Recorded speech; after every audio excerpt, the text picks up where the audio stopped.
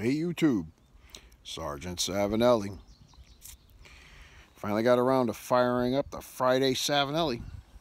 There it is. This thing smokes like a dream. Having some Riverboat Burley. Compliments to Doug Owen from the cargo hold. First time I've ever tried this stuff. And incidentally, this is my first pipe since the flu. Taste buds are uh, starting to come back. I can actually taste the nuttiness of this burley. And boy, is it yummy.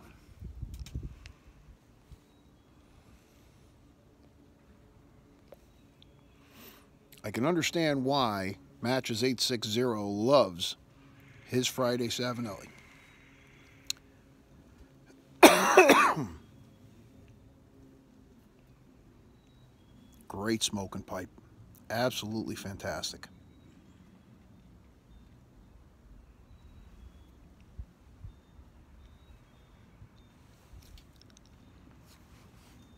Happy Saturday, everybody.